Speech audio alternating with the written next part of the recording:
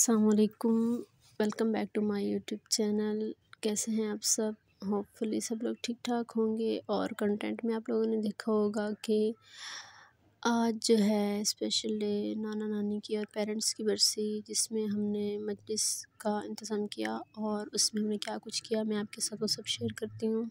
जी तो मजलिस का प्रोग्राम चूँकि इफ़्तार के बाद स्टार्ट होना था तो उससे पहले जो हमारे पास सारा दिन था, हमने उसमें सारा दिन तो नहीं, हाफ़ डे ही था क्योंकि उसके बाद गेस्ट वगैरह आना स्टार्ट हो गए तो हमने जो है अपना सारा काम बड़े रिलैक्स होके और वो सब कुछ कर लिया। सबसे पहले हमने स्टार्ट गेस्ट हाउस की पहले हमने सफ़ाई वगैरह स्टार्ट की, उसमें जो हमने अरेंजमेंट्स वगैरह करने थे तो उसके लिए मैं और दुआ हम लोगों ने इधर से स्टार्ट लिया।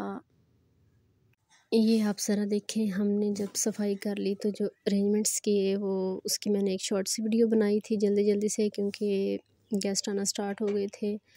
और ये बरामदे में हमने कुछ लगाए, कुछ रूम में हमने सोफ़ा और ये सब कुछ सेट किया क्योंकि इफ़्तार का इंतज़ाम भी था तो इस वजह से उनके लिए सेपरेट किया और जाकरीन वगैरह के लिए सेपरेट इंतज़ाम और फिर हमने दूसरे घर की सफ़ाई की और जो कि मुश्किल लग रही थी क्योंकि रात को ही बारिश और तूफ़ान आ गया अगेन हमें सब कुछ करना पड़ा।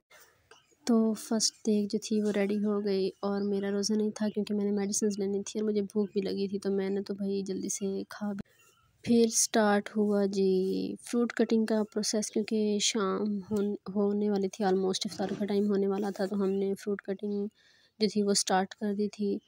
और ये आपके सामने है डिशेस और इसके बाद हमने जो थे वो फीमेल जो गेस्ट थे, वो सब उनके लिए दस्तरखान लगाए। और फिर हमने सोचा कि थोड़ी देर के लिए इमाम बारगाह में हाज़री लगवाने के लिए जाना चाहिए, फिर हम उतर गए। और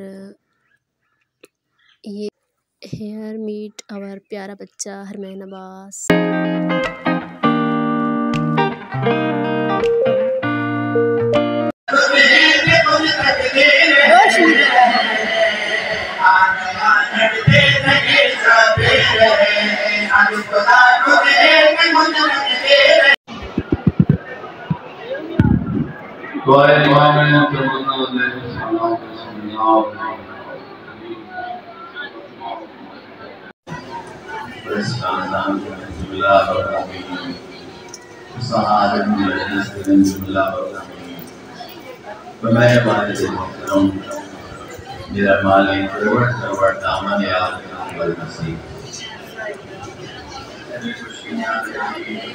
गाइस अभी मजलिस हो रही थी और फिर बारिश स्टार्ट हो गई। बारिश के साथ ओले भी, जो कि दस मिनट तक कंटिन्यूसली स्टार्ट रहे और बहुत ज़्यादा बारिश हुई।